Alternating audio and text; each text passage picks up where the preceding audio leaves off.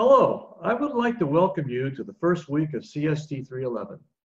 I am Hal Millan, and I am partnering with Professor Satya Balu as your instructors for this class. You'll be seeing different videos from us, as well as some video from other sources, such as the internet or TED, and from other faculty, such as Professor Ji and Seetharam.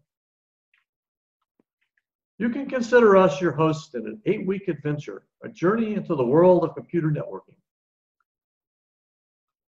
I will start the class this week with chapter one in the Kurose and Ross textbook, Computer Networking, a Top-Down Approach, the seventh edition. Chapter one is basically an overview of the material that will be detailed in subsequent chapters. As such, except for some calculations on throughput, loss, and delay, it is pretty much a straightforward read. The chapter starts by looking at the internet.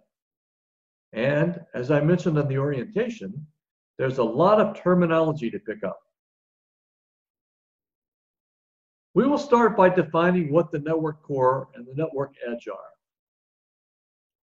And we will learn about the hardware nuts and bolts, such as link layer switches and routers. We'll touch on network protocols, data transmission, and propagation. We will also briefly discuss standards, such as what is an RFC and what is the IETF. We'll also look at networks from a second perspective, your view that you have as a user of the internet, as a place for applications such as email, chat, and search. It is a view of the internet as an infrastructure to provide services to the applications.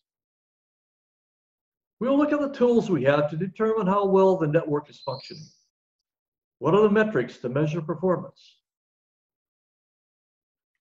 We will look at throughput, delay, and loss, and the calculations to determine them. You will also be introduced to some key architectural principles that set the foundation for organizing network into layers with encapsulation and protocols. In the last two sections, we will look at network security. Networks connect computers and can be a source of attacks.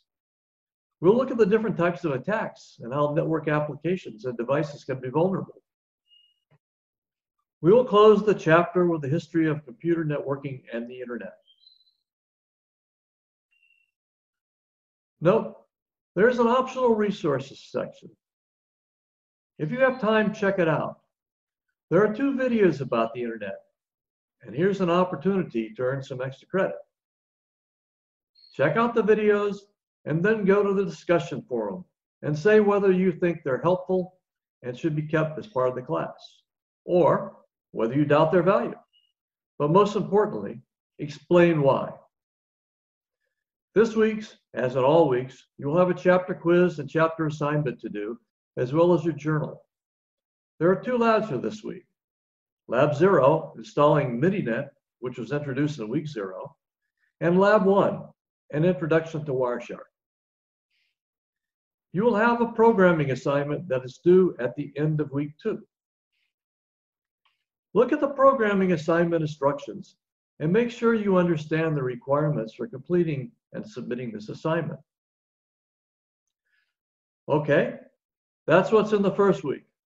We hope you enjoy your journey in networking.